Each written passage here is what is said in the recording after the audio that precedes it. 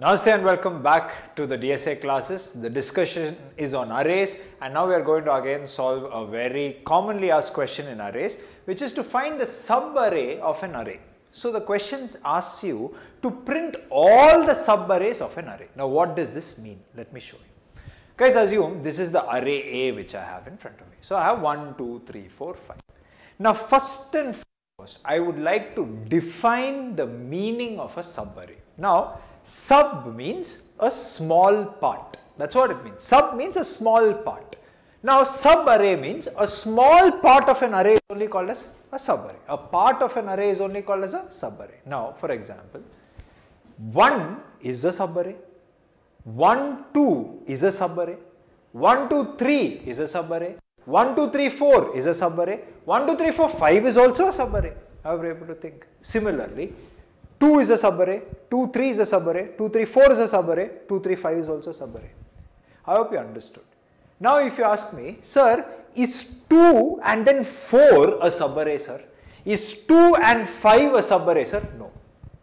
Because arrays by nature is contiguous. Contiguous means what? One after the other, one next to the other. A subarray is also a contiguous series of elements. You cannot have dispersed elements. So, 2, then you can't skip 3, 4 until 5. No. 2, 3 is a subarray. 2, 3, 4 is a subarray. 2, 3, 4, 5 is a subarray. 3, 4 is a subarray. 4, 5 is a subarray. 5 is a subarray. It should be contiguous. I hope you're able to think. Now, if I have to just list all the elements, see, we'll start, okay. 1 is a subarray.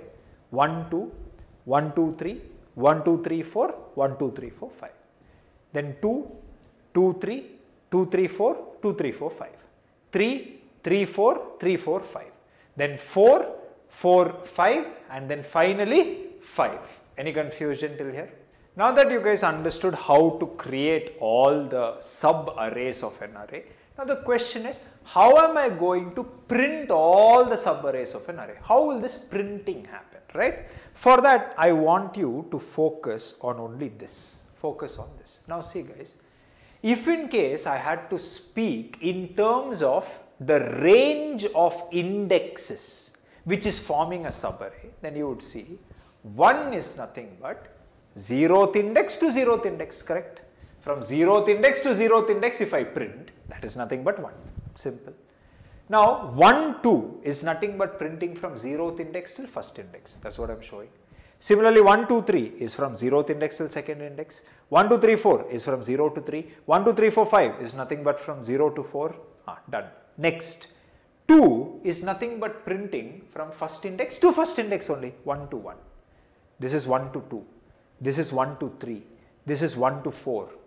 Next, coming to 3. 3 is nothing but printing from 2 to 2. Then from 2 to 3. Then from 2 to 4. That is what I am also showing. Similarly, 3 to 3, 3 to 4 and then finally 4 to 4 which is nothing but 5. So, this is the range of indexes. So, if in case I print from 0th index to 0th index, I will get 1. If in case I print from 0th index to first index, I will get 1, 2. From 0th index to second index, I will get 1, 2, 3. In other words, all I have to do to print all the subarrays of my arrays, define a range of indexes between which I must print all the elements in contiguous fashion, I will get this. That's all it is. So, what if, what if the starting range, I call it as I. The ending range, I call it as J. Then all I have to do is print from I to J. What do you mean, sir? You may ask. Watch it. What I will do is, I am going to declare a guy called as I. I am going to declare another person J. Now, initially I will begin from 0. J will begin from wherever I is beginning from. So, if J, I is beginning from 0, J will also begin from 0. Now, what will I do? I is 0, J is 0. From I to J, I will print, which means what will I get? 1. Any confusion? Next, I will be fixed. J moves forward. If J moves forward, now I is 0, J is 1. From 0 to 1 if I print, what will I get? 1, 2. Next, I is fixed, j moves forward. Now from 0 to 2 I will print. What will I get? 1, 2, 3. I you are able to think.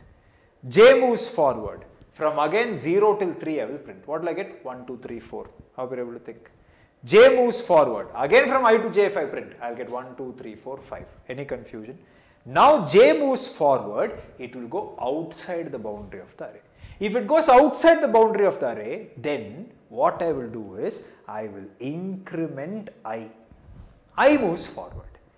j will always start wherever i is starting. Now i is 1, j is 1. Print from i to j. What will you print from? 1 to 1. What will you get? 2. That is what I am saying. j moves forward. Print from 1 to 2. You will get 2, 3. j moves forward. Print from 1 to 3. You will get 2, 3, 4. j moves forward. Print from i to j. You will get 2, 3, 4, 5. Then j goes outside. If j goes outside, move i forward. Again j starts from wherever i is starting.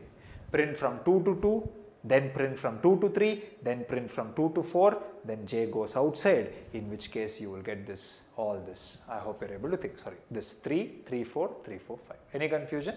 After which, again, i moves forward, j comes wherever i comes. i to j if you print, you will get 4. j moves forward. i to j if you print, you will get 4, 5. j moves forward. No more elements are there, i moves forward. j comes wherever i is. Print i to j, what will you get? 5. j moves outside. If j goes outside the boundary, time for you to increment i. If you increment i, first time i also has gone outside the boundary, stop.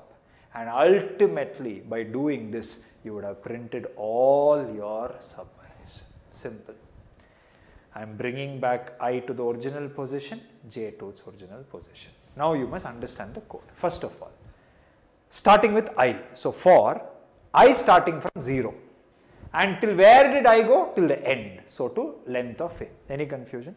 Now for every value of i you must have a j which goes till the end which means inside the i loop you must have another loop called as j. Now where is j starting from? J is not starting from 0 j is starting from wherever i is starting. So j equal to i it starts from wherever i is starting where does it go till every time end of the array so till length of a any confusion till here Yes sir, next what? Now inside this what are you supposed to do? Now you have i, you have j. You are supposed to print from i to j. That is your duty. That is what I am saying. Print from i to j. Now how will you print from i to j sir? One way to do that is, see, let us assume i was at 0, j is at 3. Now what should I do? I should actually print from i to j. From this range to this range I should print. One way to do that is, I will appoint one more person called as K guys. I will appoint K. K will start wherever I is. I hope you are able to think. What I will do is, whichever element K is pointing to, I will print it. Move K forward. Print the next element. Move K forward. Print the next element. Move K forward. Print the next element. Now K is supposed to print only from I to J. The moment it goes beyond j, I will stop. So, i tells you where to start, j tells you where to stop, k prints everything from i to j. Simple way to do it. Very good, sir.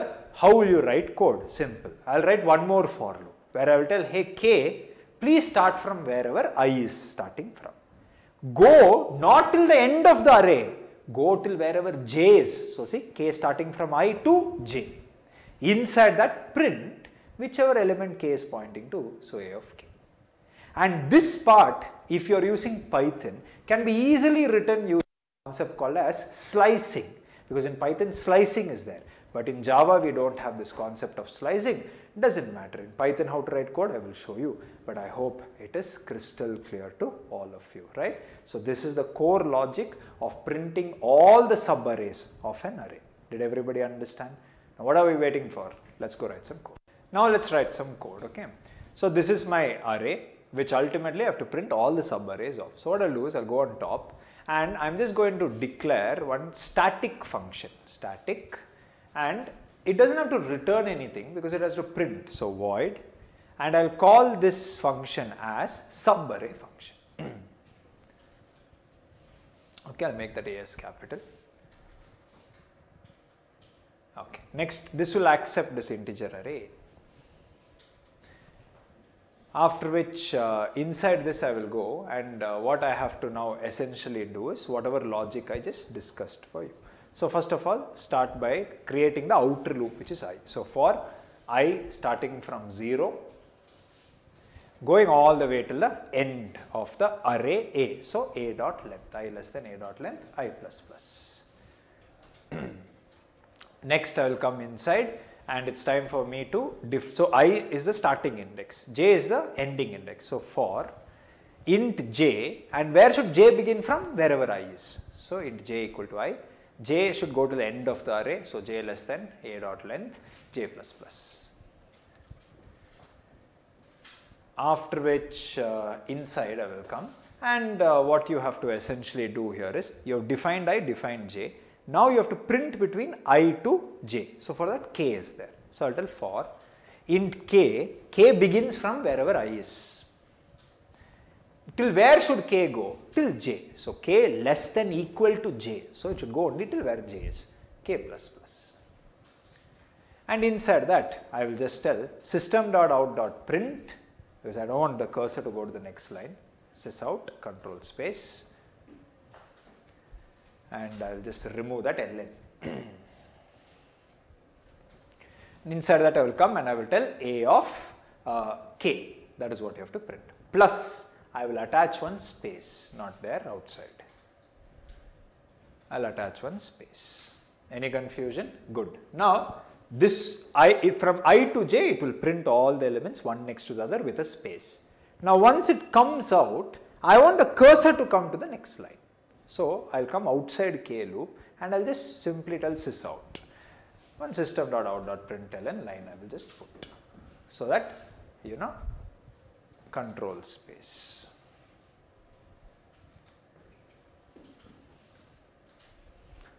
Any confusion? Right. So that cursor comes to the next line. Then the next subarray, next subarray, I'll keep printing. Now I'll just come here and call this function subarray. That's all you have to do. So I'll call subarray and I'm going to now pass A to it. Okay, clear. Good. Now we have to execute. So watch it. I'll just remove all this. Let me just go execute it. If in case I execute it and uh, I show you, see, see 1, 1, 2, 1, 2, 3, 1, 2, 3, 4, 1, 2, 3, 4, 5. Then 2, 2, 3, 2, 3, 4, 2, 3, 4, 5. Then 3, 3, 4, 3, 4, 5. Then 4, 4, 5 and finally 5. So, perfectly it works. Any confusion till yet? So, this is a very simple problem but again a commonly asked question. I hope you understood how to print all the subarrays of an array. Let's catch up in the next program.